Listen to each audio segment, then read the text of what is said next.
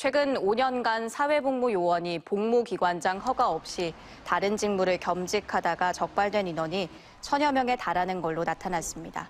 국민의힘 성일종 의원에 따르면 최근 5년간 허가 없는 겸직으로 5회 경고를 받아 고발당한 사례를 포함해서 모두 998명의 사회복무 요원이 적발됐습니다. 생계 유지와 봉사활동 등 복무기관장의 허가를 받아 공익근무 요원이 겸직한 경우는 2만 723건이었습니다.